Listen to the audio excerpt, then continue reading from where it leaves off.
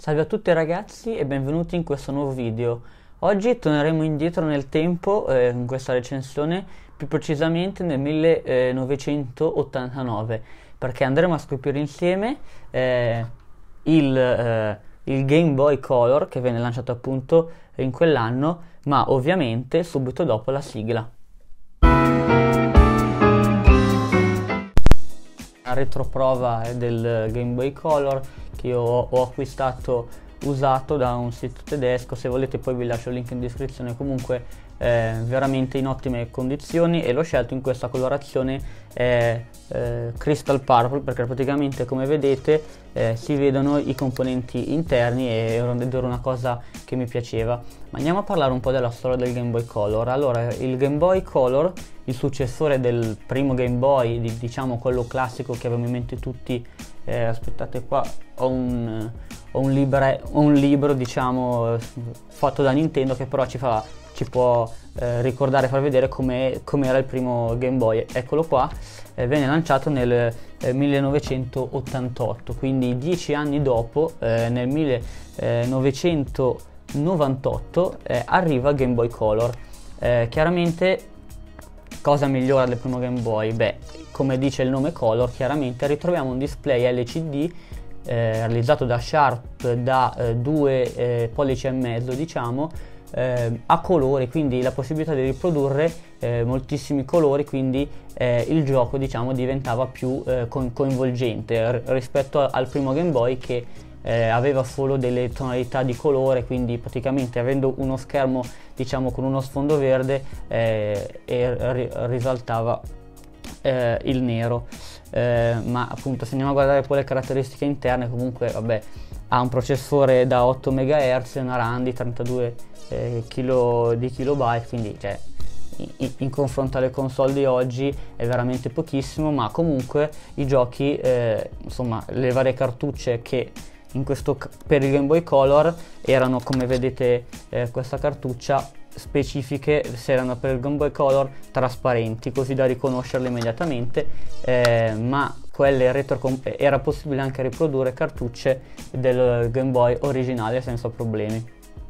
Eh, comunque appunto stavo dicendo ehm, girano eh, tutti per- perfettamente. Poi abbiamo un, una cassa qua che riproduce l'audio ehm, veramente i tasti A e B le, le, le frecce start e eh, select e sopra anche una porta infrarossi con cui era possibile eh, comunicare tra diversi Game Boy solo in giochi specifici che eh, però in, in, nei Game Boy successivi venne, venne rimossa forse per la sua eh, quasi inutilità.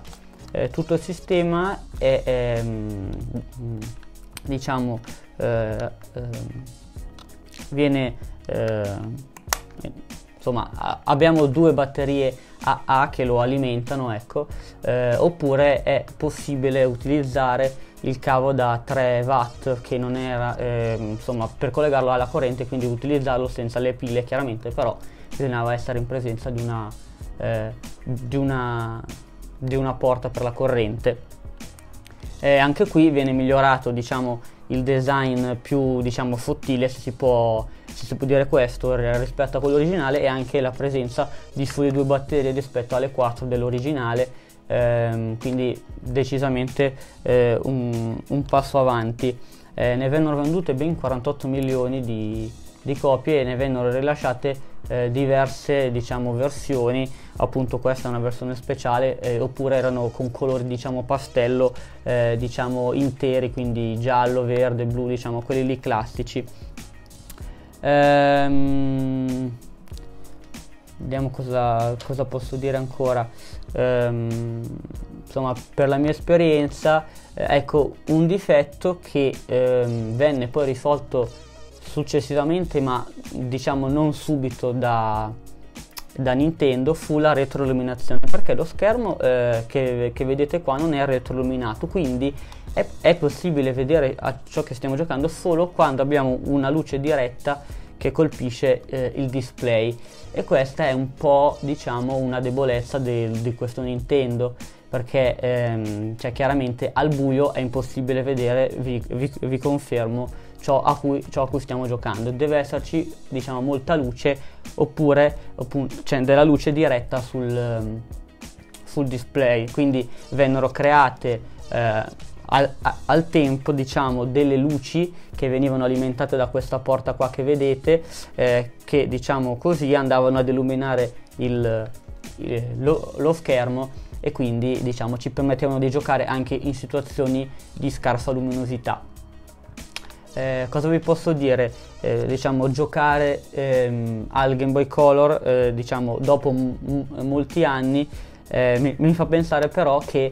cioè, veramente è, cioè, è ancora m- molto utilizzabile anche perché appunto avendo lo schermo a colori e tutto il resto cioè, non sembra neanche un- una console di eh, eh, di così tanti anni fa, diciamo. Ehm, quindi in questa retroprova appunto ho voluto portarvi un po' indietro nel tempo e provare eh, insieme questo g- g- Game Boy per magari quelle persone che eh, non l'hanno mai avuto, non sapevano magari della sua conoscenza o che l'hanno avuto e quindi possono confermare diciamo eh, quindi vi, vi, invito a scrivermi sotto nei, nei commenti se anche voi av- avete avuto il primo Game Boy o il Game Boy Color oppure i successivi, gli Advance, diciamo eh, quelli eh, più, più, lunghi, il micro, insomma ne sono stati fatti tanti prima del, del DS diciamo che conosciamo tutti.